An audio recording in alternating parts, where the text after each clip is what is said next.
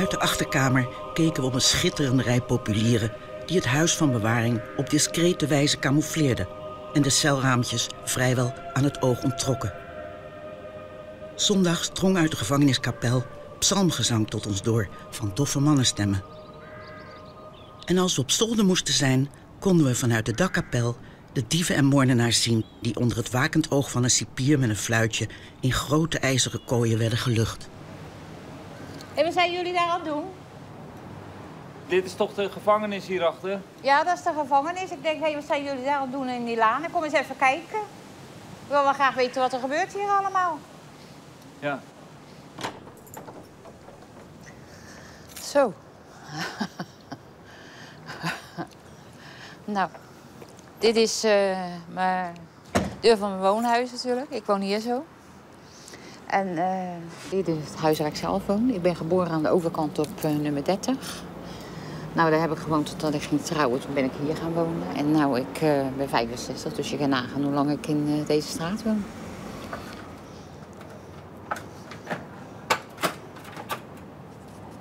Ja, je zat hier zo, je had nooit nergens geen last van. Ik bedoel, anders zit je ergens in op een huisje.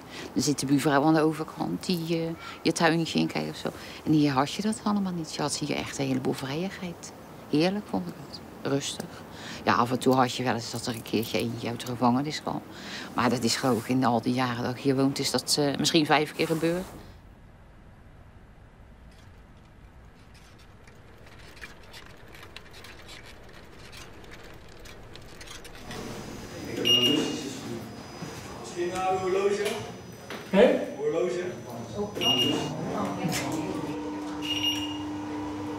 Het is die heup. Ze heeft een pin in haar heup.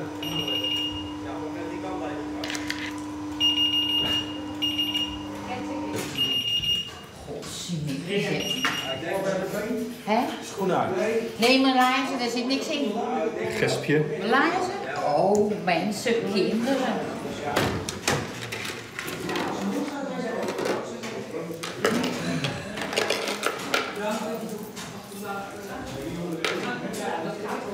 Zo'n aantal cellen opendraaien, dan kunt u gewoon eens kijken en ervaren eh, hoe dat is. Hoe groot het is of hoe klein het is. Ja, ik, ik, uh, ik ben hier uh, ooit begonnen in 1980.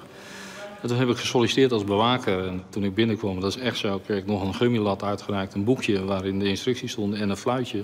Als het mis zou gaan, dan moest je maar hard fluiten, dat iedereen je hoorde. En ja, tegenwoordig is dat natuurlijk niet meer. Ik bedoel, gelukkig ja, gaan we op een hele andere manier met gedetineerden om. Ja, meestal waren dit wel ontsnappingen waar ik ook wel respect voor had. Hè? Als je de tralies eruit weet te zagen. Ja, dat is natuurlijk heel vervelend voor de baas. Maar van de andere kant, ja, ook wel weer knap. Nou, de een die vindt uh, zijn tv uh, mooie muziek, de ander de radio. Dus dat is uh, soms een behoorlijke herrie. Nou, deze vleugel ook, ja, die staat nu leeg. Maar hier hebben ze dus nog geen toilet op cel. bijvoorbeeld ook geen stromend water. Dus hier ging tot twee jaar geleden ging hier alles nog met, met een po. Dat mensen dus straks weer behoefte om een po moeten. Ja, dat is niet meer van de, dat is bijna middeleeuws. Nou ja, de vijf meter hoge muur. ervaar het maar wat het is. Om hier dus een uur per dag zeg maar, te moeten of te mogen rondlopen. Het opvallende vind ik wel dat de eerste dag dat ik hier kwam werken... een gesprek had met de toenmalige directeur. Van, goh, uh, hou er wel in de gaten dat je over vijf jaar uh, iets anders moet gaan zoeken. Want dit gebouw staat op de nominatie om te sluiten. Plus, als je buiten loopt, ja, er hangen al uh, te koopborden op, op de gevel. Dus in die zin maakt het ons wel duidelijk dat het nu voor het echt is. ja.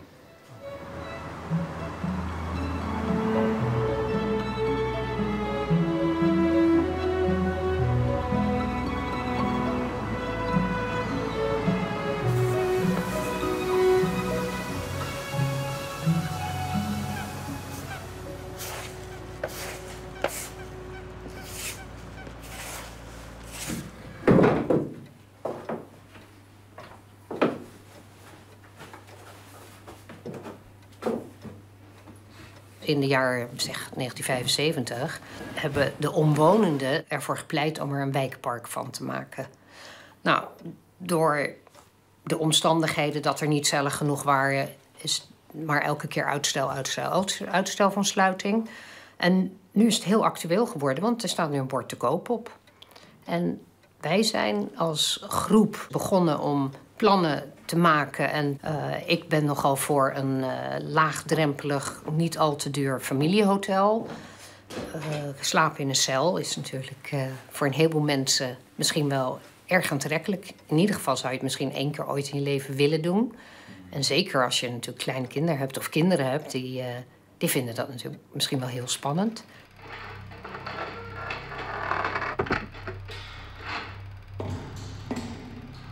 De gevangenen droegen bruine pakken met witte maskers erboven. Wanneer ze achter elkaar aan schokten, sloeg het geklos van de houten klompen hol tegen de muren van de binnenplaats.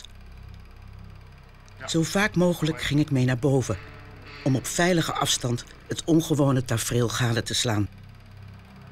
Mijn vader moedigde mij aan naar die arme, maar ongetwijfeld toch ook erg slechte mensen te zwaaien. Eens verstijfde ik van schrik toen een van hen zijn gezicht van achter de witte lap naar ons toekeerde en terugzwaaide.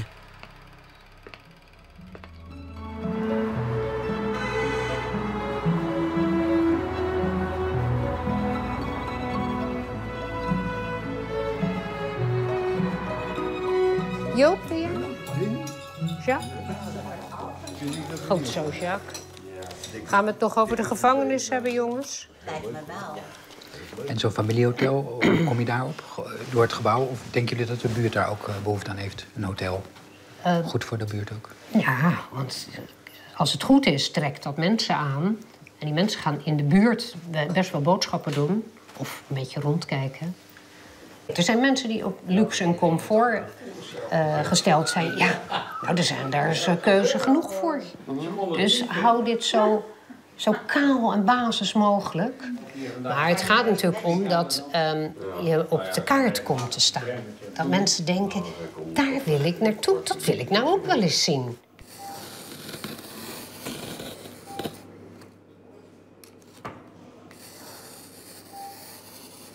En dan moet je hier een, een pui in zetten, want dit wordt natuurlijk... Uh, oh, ja. Nee, het is niet waar. Die pui moet je hier zetten. Want dit wordt die woonkamer van deze 1, 2, 3, 4, 5, 6, 7 cellen. Ik heb hem hier nog uitgetekend. Uh. Buurtbewoners, die hadden al een idee hè, om daar een bestemming aan te geven. Beetje naïef, maar als je dat gebouw ziet, geweldig. Uh, met zoveel potentie. Uh, maar laat ik zeggen, je moet er toch op een heel andere manier over nadenken. geldsgewijs, qua allure. en dan kan je best met de wijk iets doen.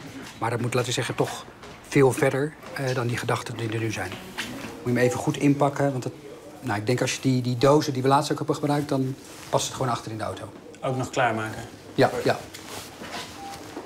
Dus dat maakt die grond dan, uh, geeft die grond een bepaalde waarde. En daar moet je eigenlijk tegenop uh, concurreren. Als je dan zegt van wij gaan het kopen, dan... nee, maar goed, dat is dus de vraag. Van kom met een plan en uh, dan kan je het kopen. Maar goed, dat geldt dus niet voor dat, dat voorgebouw. Hè? Dat is echt, dat mag zeker niet plat. Oké, dus dat, dat... Maar dat vind ik ook een beetje jammer om plat te gooien. Jij niet? Nee, nee, maar ik wil sowieso niks plat gooien. Want ik hou van oude gebouwen. Misschien moet je gewoon wel een hotel maken wat, voor, wat op allerlei levels zit. Omdat dit natuurlijk een hele chique uitstraling heeft. En in één vleugel zou je bij wijze van spreken 90 eh, backpackers uh, in stapelbedden kunnen. En in een ander kan je een hele luxe kamers van drie cellen maken. Want zeg maar, mensen die voor vijf sterren betalen, die willen niet een backpacker, backpacker aan het ontbijt zetten. Maar goed, dan is dat wel een goed idee. Hè? Ja, dus, dus dan zit je, je zit tussen een range dan van 2,5 en 4 sterren. Feitelijk willen ze natuurlijk een plan uh, op de ene of andere manier doen. Eigenlijk is dat de eerste vraag, is van wie willen wat. Hé, hey, als je nou gaat fietsen, kijk je uit, doe je voorzichtig? Oké, okay. nou, dag Piet. Kijk uit, hè. Met een goede vullen. Ja, kijk maar. maar nagaan, hè? 85, hè? Zo, ja. Wij moeten het nog maar zien te worden en dan op de fiets, hè? Constant zijn we daarmee bezig. Dat wij ook als bewoners natuurlijk meekijken wat er eigenlijk allemaal gaat gebeuren. Nou, het is natuurlijk ook wel uniek. En als je zo'n gerechtsgebouw ook ziet op de Noordsingel... dan is het gewoon een prachtgebouw waar je tegenaan kijkt. Nou, ik hoop alleen dat het heel erg bewaard blijft. Want het zou verschrikkelijk zijn als het complex verdween. Het is een van de hele mooie gebouwen. En ik zou het heel erg vinden. Ik heb geen idee. Ik hoop dat ze hem zo behouden zoals die is. En ja, het zou leuk wezen als er een paar eh, stelkamers gebouwd werden. Dat zou natuurlijk heel mooi zijn als er één cel is met eh, de werkelijke inrichting zoals die voor gevangenen vroeger was. Zodat mensen die eh, daar in het hotel komen of gewoon bezoekers die koffie komen drinken, dat zij in die cel kunnen kijken. Eh, ik kan me voorstellen dat je hier ook gewoon je moet inboeken, weet je wel? Het is gewoon de plek. Als stel dat je een hotel maakt, receptieplek. De receptie, maar dat moet ook dat moet iets moois worden, hè? Dat dat, dat niet zo'n hok is, maar dat je gewoon in het centrum iets, iets moois neerzet. Met een heel mooi baletje waar iets kan draaien of zo. Ik weet het niet, maar... Eh, maar in feite is dit ook een soort van receptie. Hè? Dus als gedetineerden naar het bezoek gaan, of die Ja, melden zich hier ook Ja. eh, aan en af. Dus daar worden ze dat ook zoiets, eh, zoiets bedenken. En die zijn ook allemaal eh, tot nou, pakweg drie jaar geleden allemaal bezet geweest. Dus was het nog volledig in, in bedrijf. En dan zat er één, één iemand in een kamer. hè? Ja, Dat zijn een ja. soort eenpersoonskamers. Ja, ja. En heb je nou ook, dat zie je ook in gevangenissen, dat op een gegeven moment, ah, weet je, dat iedereen ook zijn dagen telt. Hè? Is dat- Ja, ja. Gebeurt dat ook? Ja, dat gebeurt ook. En, Ja, mag- en worden jullie er dan boos om? Dan Mag- worden wij wel boos om. Ja? Ja, ja, ja, Maar dan niet. Dit is, dit is ook niet origineel, hè? Dit hebben jullie bedacht. Nou, dit is origineel. Ja, dat zie je. Maar dit is inderdaad een... eh, Door de Arbo-wetgeving. eh, Oh ja, Arbo voor ja, ja. Nou ja, voor personeel. Oh, oké. De deuren moet je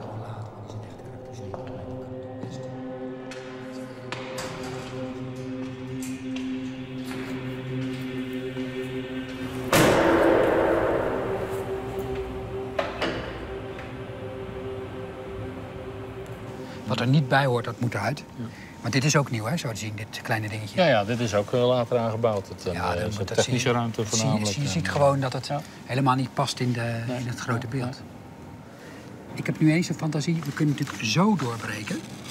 Maar je kan het ook zo doorbreken. Ja, want het is Mhm. Ja, helemaal niet zo hoog. ja, ja, ja, maar stel nou eens voor dat we Ja. kamers zo maken. Ja. Ja. met een trappetje erin, dat je voer... Hè, dat je gewoon Ja, hele, zo, zoiets. Hoe dik is het nou? Ja, ik, heb het nooit opgemeten, maar voor mijn gevoel is het toch wel eh, ja, zo'n Ja, 60 zo dik. centimeter, denk ik, 50, 60 centimeter. Ja, waanzinnig. Dat is echt onvoorstelbaar. Nou ja, ook opgelost, hè? Weet je wat het grootste probleem bij een hotel is? Het is gewoon geluid. Ja, ja, nee, maar dat... Eh, Van die hele rare... Vierkantjes. Wat zijn Ja. dat, die vierkantjes? Weet je, Ja, die, dat- moet nu- daar gezeten hebben, zo.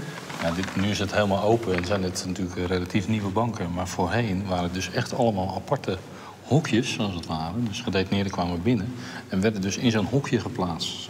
Eén persoon celletjes. Met, met een muurtje. Je, je, je zag elkaar gewoon Ja, helemaal niet. nee, je zag elkaar niet. Dus dan had je ook geen contact. Je kon ook niet zien wie je buurman was. Maar dat stond nog uit de tijd dat ze ook nog gingen luchten eh, met, een- met een kap over hun hoofd.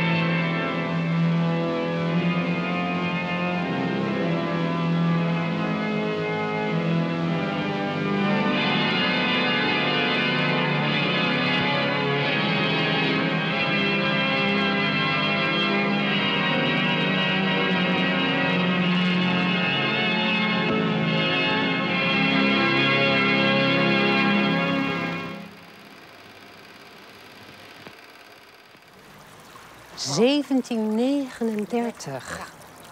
En wij zijn 1870. Moet je die deur zien, met die lijken wel spijkers opzetten. Die tralies. Ja. Echt ontzettend. Het is ook een beetje een li- lief gebouw. Ja, dat klinkt heel naar, maar het was natuurlijk een gevangenis. Het ziet er heel mooi uit. Eh, ja, het is een familieklein. U slaapt vanavond op de Magnolia. Zal ik u voorgaan naar uw kamer? Ik wens u een heel fijn verblijf. En mocht dit zijn, kunt u 304 bellen. En dan eh, komen wij vanzelf weer. Dank u wel. Dankjewel. Nou, heel graag gedaan. Ja. Dag. Dag. Even ga ik altijd naar buiten kijken. Waar zitten we? Die is mijn jas uit zijn kant. Oh ja, ja, ja, ja.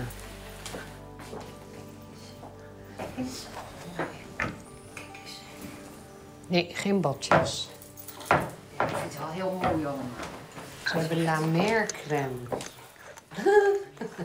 300 euro per potje. Ja. Oh. Ja, prachtig zeg. Ik vind dit wel wat Ik ga even een bad nemen. voor de Noordsingel. Prachtig zeg. Goedemiddag. Middag. Nou, kun je het makkelijk vinden? Nou, wel lastig hoor. Nou, Zo ja, eh, helemaal ingesloten. Ja, Oké. ik maken. Theo Rauwen. Vroeger, als je ging trouwen, kreeg je een eenmalige keuken uitzet met alle potten en pannen wat bij elkaar hoort. Nou, als ik dat dan ergens kan kopen, dat dat eh, zo uit een erfenis of een nalatenschap of wat dan ook komt, dan koop ik dat. En dan verzamel ik dat en af en toe zet ik weer zo'n andere kleur in de keuken. Ja. En ik heb een aantal catalogussen van dingen die vroeger dus ook eh, gebruikt werden. Dat ik kan zeggen, nou het is zo oud en in die tijd werd dat gebruikt. En dan ga je op pad. hè, Want ik kan jou gewoon op pad sturen. eh, Ja, En dan moet je alleen nog een gevangenis Ja. cata- catalogus vinden. dat wel ja. Maar eh, als je de kamer hebt, dan zou ik hem zo in kunnen richten voor je. Dat is geen probleem. Ik zou het ook wel leuk vinden. Hier zie je ook echt het plafond dus, dat het dus echt het oorspronkelijke plafond. Ook helemaal niks aan gedaan. We hebben het schoongemaakt en we hebben het zo gelaten. Wat dat allemaal voor geluiden ook teweeg gebracht heeft. Ja. Als zo'n deur open dicht ging. Ja, En hoeveel spijkers hier in de planken zitten. Oh, oh. echt prachtig. Nou, voor gevangenen was dit wel een bijzondere luchtplaats. Ja. Want eh, bij ons waren het echt van die soort schotten. Ja. Een halve cirkel met schotten. En dan mochten ze een tijdje in zo'n taartpunt staan. En dan moesten ze weer naar binnen. nou dan hebben ze hier wel veel vrijheid Ja, gehad. ja, ja.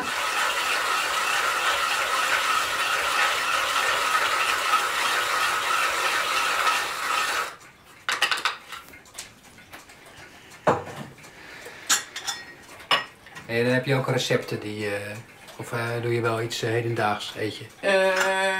Ook wel hedendaagse dingen, maar ik kan ook hele ouderwetse dingen maken.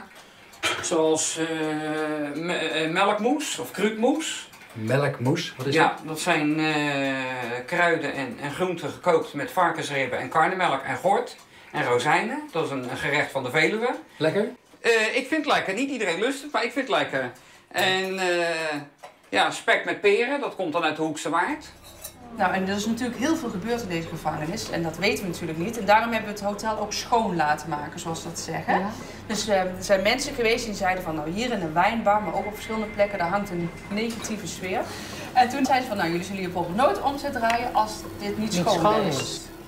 Dus Als je daar zelf heel gevoelig voor bent, dan zit je niet op je gemak. zit je niet op je gemak. Er werd natuurlijk vroeger gemarteld. Ja. Oeh, vreselijk.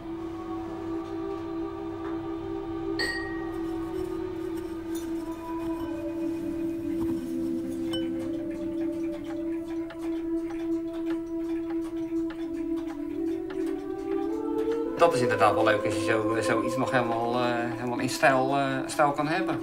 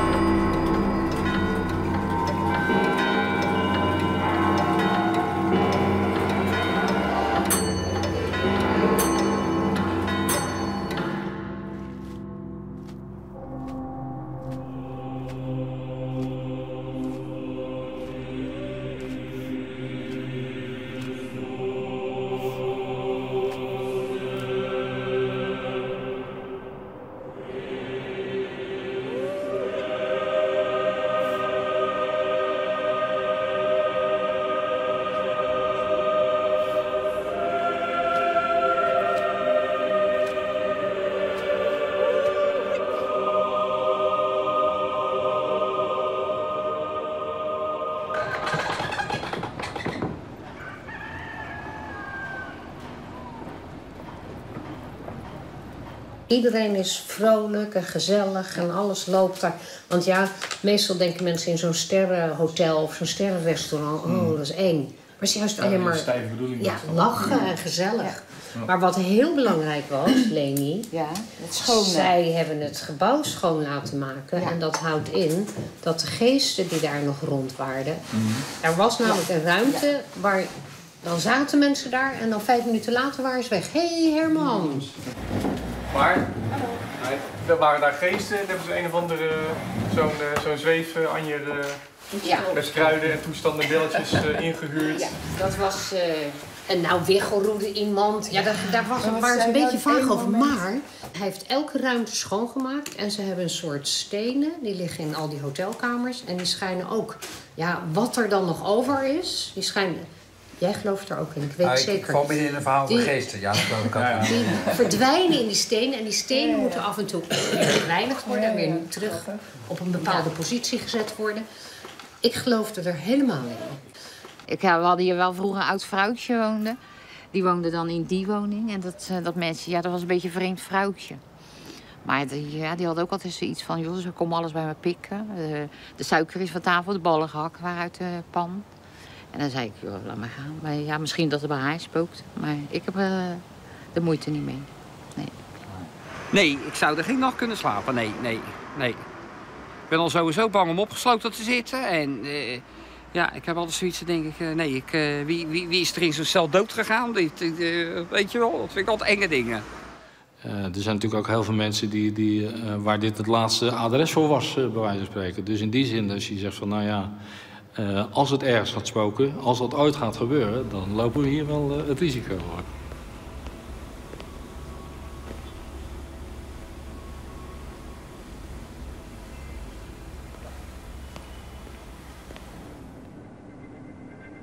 In de herfst verloren de populieren hun bladeren en kwam de gevangenis open en bloot achter een netwerk van takken en twijgen te staan.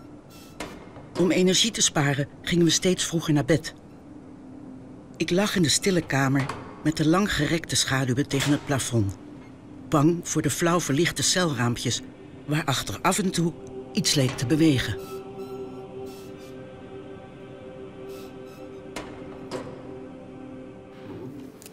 Dat je gemiddeld op 750 euro gaat zitten ongeveer. Nou, je Ja. praat wel over een behoorlijk complex van 2 hectare. Dus eh, ja, dat zijn toch... drie, hadden we het net? Drie hectare hadden we eerst. Dat zijn toch eh behoorlijke oppervlaktes. Als je dan praat over, nou ja, stel dat je zegt, ik noem maar wat, Dan gooi je alles 750 plat. meter. Ja. Wat hebben we dan aan grondwaarde? En je gaat van Was 20... deze voor mij of die? Of die n- ik denk dat deze voor mij is, dank je. Die was. Eh, dan laten we zeggen van 750 maal 3, dat is dan 16800. 1600 vierkante meter maal 1100, eh, nou laten we zeggen 1250 euro. 1250. Kom je op 2,1 miljoen. Nee, dat kan Nee, niet. 21 miljoen, sorry. 21 miljoen, oké. Ligt als even minder. Nou ja, Ja, ja oké. 18 miljoen eh, verschil. maar goed, maal pakweg, laten we 25.000 even nemen, veiligheidshalve, dat is alle. Praat je wel over 18 miljoen. De nieuwe plannen voor de Noord-Singel-gevangenis zijn vandaag bekendgemaakt. Het Huis van Bewaring, dat in 2014 definitief de deuren sluit... moet een eigen tijds vier-sterrenhotel worden. Wellness, diversiteit en ontplooiing zijn de sleutelwoorden in het plan... van het Amsterdamse architectenbureau. Er komt een breed scala aan logeer- en horecavoorzieningen. Je kunt er upseilen, je fiets laten repareren en zelfs trouwen. Architect Herman Kosman stond aan de wieg van deze unieke experience... die toeristen van over de hele wereld naar Rotterdam moet lokken. Om het project kostendekkend te maken... zal een deel van de gevangenis worden gesloopt... om plaats te maken voor twee luxe woontorens. Nou, sowieso slopen we in alle modellen eh, alles wat er later is gemaakt. Hè? Ja. Dus we gaan naar de Dat mag. oorspronkelijke structuur. Dat mag. Hou je wel in de gaten dat dit stuk bestaan blijft? Ja, tuurlijk. We gaan er omheen bouwen. Moeten we nog een beetje onderzoeken. Maar als we nou gaan bouwen, dan bouwen we gelijk een parkeergarage eronder. Snap je? Dat ontlast. Dit is monument. Ja. En dit kunnen we theoretisch slopen. Ja, dat Nou is wat jullie het liefste willen als architecten. Je bouwt een nieuwe enclave. Nee, je maar goed, onttrekt wat er dan nog goed is. Ik zal, ik zal die... Heb je, heb je En een het- computer? Wat thuis? Heb je een computer thuis? Dan stuur ik even wat, wat eh, voorbeeldjes. Gewoon om te laten Wij zien doen wat met het... rooksignalen thuis. Rooksignaal. Nee, maar daar gaat toe. Dit heb je gewoon nodig om eh, eruit te komen, financieel.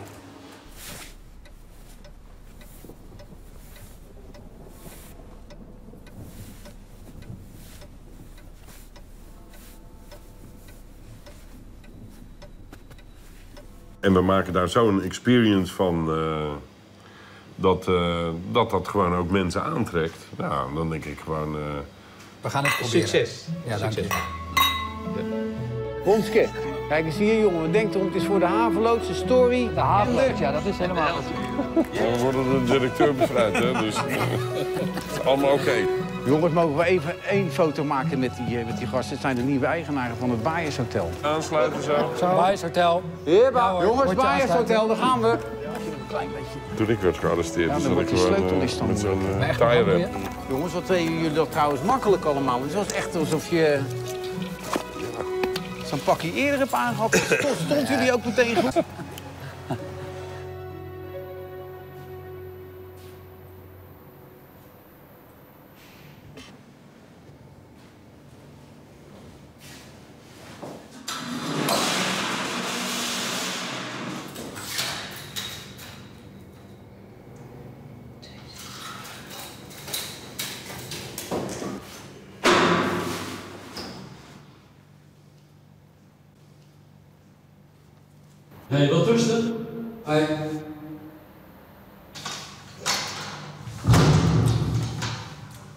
Het geluid waarvan ik wakker was geworden leek op dat van een dier in nood. Met mijn handen angstig over de stoelleuning geklemd, bleef ik ademloos staan kijken. Achter het oplichtende celraampje wiegde een kleine gestalte het bovenlichaam ritmisch heen en weer. En bij de klagende vrouwenstem voegde zich het steeds hardere geklop van handen op glas.